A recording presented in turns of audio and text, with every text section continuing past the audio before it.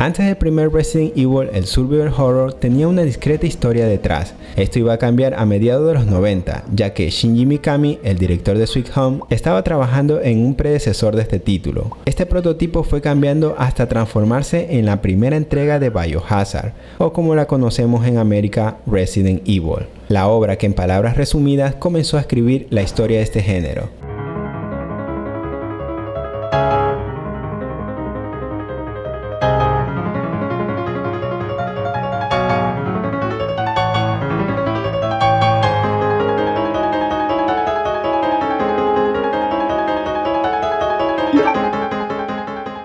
La primera entrega de la saga se publica en 1996. La versión del juego original que más llama la atención es la de Sega Saturn, ya que tiene un modo inédito llamado Battle Game. En esta modalidad matábamos a enemigos por la mansión y el laboratorio. Tenemos a un Tyrant dorado y en la parte del laboratorio nos aparece Wesker convertido en un zombie especial. Y el detalle final de esta modalidad es que no hallaremos objetos curativos ni municiones, ya que todas estas se encontrarán en los baúles.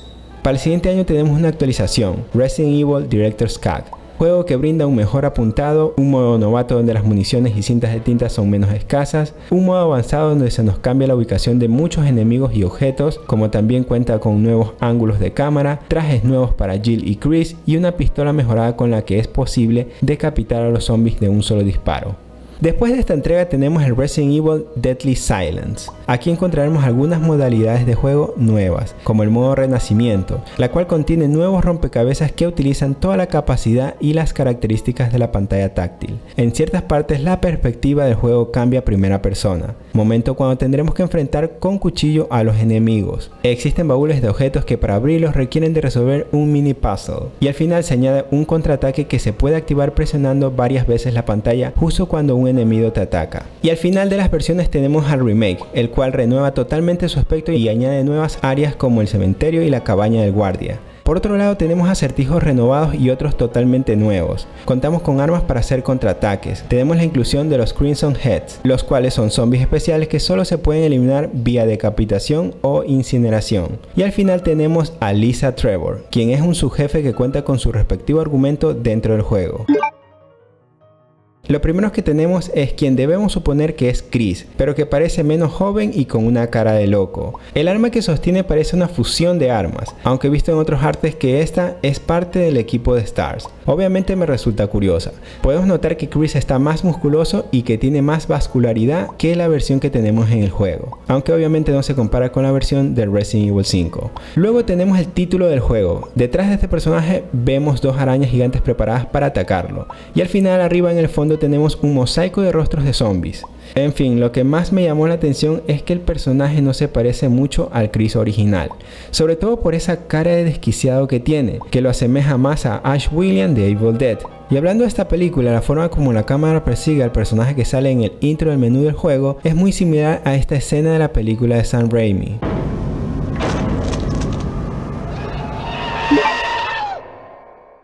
Después de enterarse de supuestos ataques caníbales en las afueras de Raccoon City, las fuerzas especiales de la policía STARS manda al equipo Bravo a investigar. Y después de que perdieran comunicación con este equipo por un día, mandan al equipo Alpha a seguir con la investigación. Es aquí donde comienza Resident Evil. Lo que encuentra el equipo protagónico es el helicóptero del Bravo Team accidentado y al final una mano cercenada. Después de estos acontecimientos son perseguidos por unos perros monstruosos. El piloto del escuadrón Brad Pickers, al ver este escenario, huye espantado dejando abandonado al equipo frente a esta amenaza. Al final de esta persecución, el equipo se refugia en una mansión. Ya estando dentro de esta gran residencia, rompen la primera regla de supervivencia de una obra de terror, separarse. Bueno, la idea era abarcar más espacio para investigar lo que está pasando a su alrededor. En la investigación, Jill y Chris van encontrando a los miembros del equipo Bravo, algunos muertos como Kenneth J. Sullivan, Forrest Payer y otro moribundo como Richard Aiken. Los únicos que encuentran vivos son Rebecca Chambers y Enrico Marini. Bueno, ese ya no está vivo.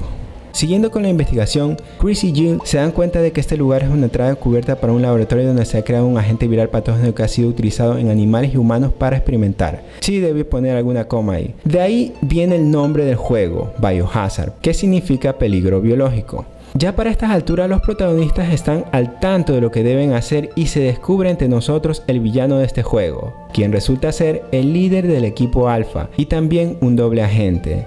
Albert Wesker. Él trajo a todo el equipo para poner a prueba la efectividad de sus monstruos. Yéndonos al final, Wesker libera al Tyrant T-002. Sí, por cosas como estas se nota que Wesker no le importa el futuro de la raza humana con estas armas biológicas sueltas. Él está cegado por su avaricia de poder. Para hacer algo así hay que tener una ansia trazada y eterna, pero a fin de cuentas obtiene un digno final por su avaricia. A ver, ¿para qué tanto avariento si no te valió de nada? ¡Te lo has llevado al otro lado! Un dato interesante, el único que sabía de los planes de Wesker dentro del equipo Alpha era Barry Burton, pero él no dijo nada a sus compañeros porque Wesker tenía secuestrada a su esposa e hijas. En fin, estando Wesker aparentemente muerto, Chris o Jill tienen que derrotar al Tyrant para luego dirigirse al helipuerto donde aparecerá el arrepentido Bragg y también aparecerá de nuevo el Tyrant. Pero tiempo después, Bragg nos lanzará una bazooka para terminar con esta pelea.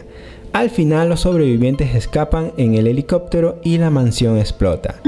Nota, existen cuatro finales para Chris como también para Jill. En el caso de Chris, estos suceden cuando no salvas a nadie, cuando salvas solo a Jill, cuando salvas solo a Rebecca y cuando salvas a las dos.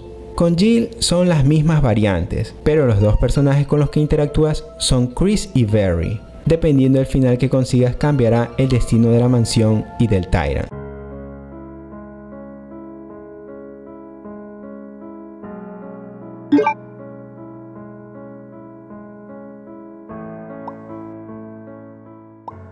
La versión de Nintendo DS es la primera en mezclar enemigos en una sola habitación, por ejemplo, perros y cuervos. En el juego, Chris puede salvar solo a personajes femeninos y para Jill es todo lo contrario, ella puede salvar solo a personajes masculinos. Una música del soundtrack de Resident Evil parece compuesta al estilo de una de las piezas de la banda sonora de Bugs Bunny Rabbit Rampage.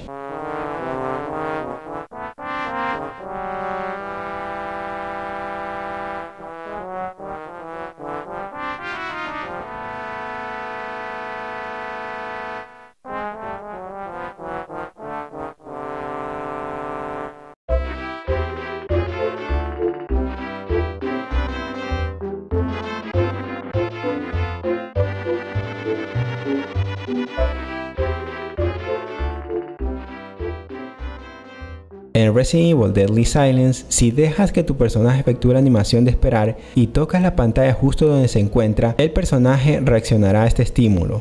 Después de ver las Cold Anacondas, me da la impresión de que la Magnum de Berry está más basada en el revólver de Bash Stampede de Trigun que en algún modelo real de una Magnum 44. No es la primera vez que vemos rompecabezas de cajas en un juego de Shinji Mikami, ya que cosas muy parecidas teníamos en Goof Truth y también en este juego se utilizaban objetos para avanzar en los niveles. El hallazgo de la mano me recuerda cuando Jeffrey Bowman encuentra una oreja en el mismo estado en la película Terciopelo Azul. Esta escena está basada en la mano cercenada que vemos en el cortometraje Un perro andaluz.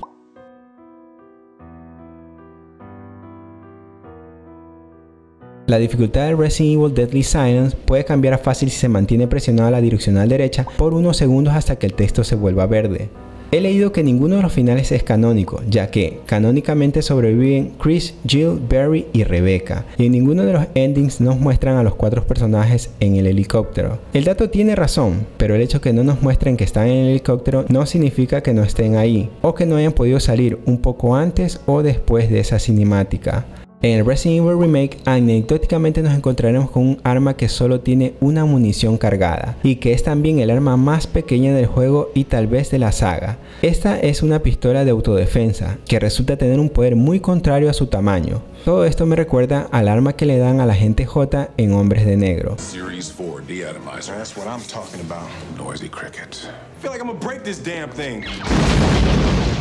El Made in Heaven de la chaqueta de Chris se lo pusieron en honor al álbum de Queen del mismo nombre. Claire en el Resident Evil 2 también utiliza una chaqueta con la misma frase y en la chaqueta de su traje especial se puede leer Let Me Live, la tercera canción del álbum de Queen. Por otro lado, en un tatuaje de Billy Cohen del Resident Evil 0 leemos Mother Love, que es la cuarta canción del mismo disco.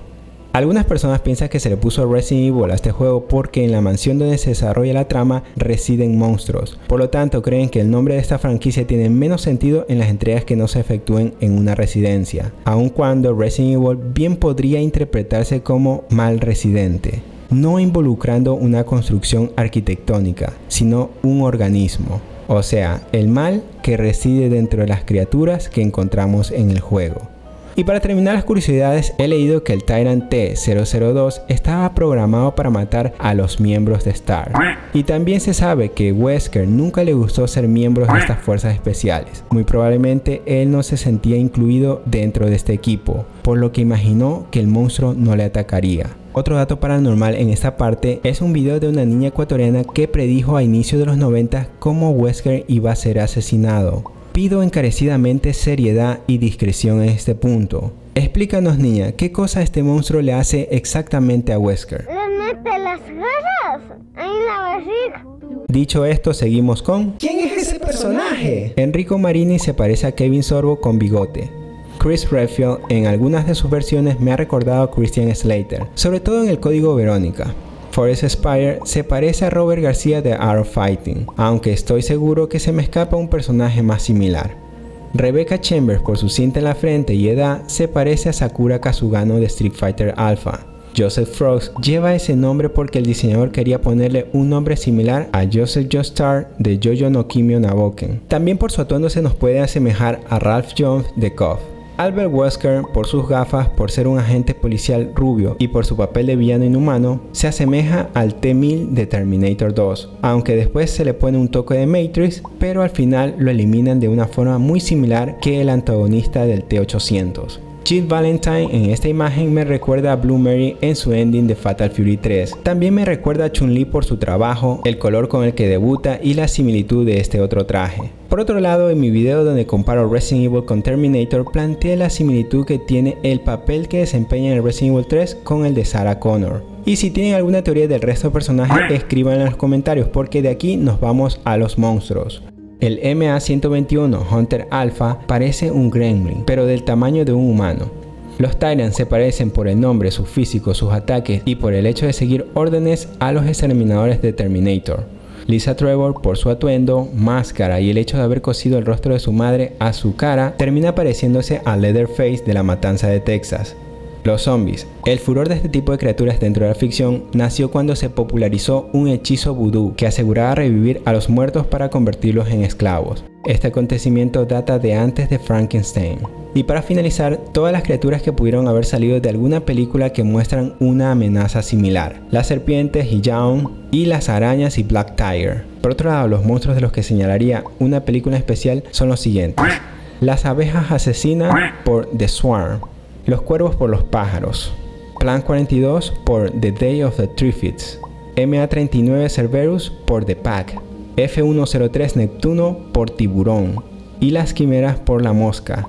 Estas últimas tres criaturas compartiendo nombres con seres mitológicos. Y eso va a ser todo por esta brutal creación. Si desean que analicen las influencias de su juego favorito, compartan este video y escriban su petición. También pueden unirse a mi Patreon para contribuir monetariamente a este tipo de contenido. Para los que no pueden apoyar económicamente, pueden suscribirse, activar la campana de notificaciones y ver estas recomendaciones para que todos sigamos el canal que trata de publicar todas las influencias posibles de todos los potenciales rincones donde los desarrolladores tratan de esconder las referencias menos imaginables que se haya visto en alguna obra del mundo. ¿Por qué me torturo con frases tan largas?